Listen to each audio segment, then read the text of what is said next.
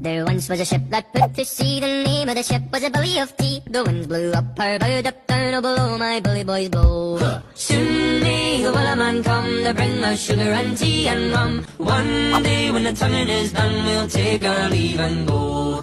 She'd not been two weeks from shore when down on her a right whale bore. The captain called all hands and swore he'd take their whale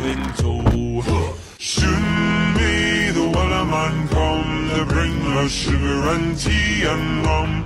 One day when the tonguing is done,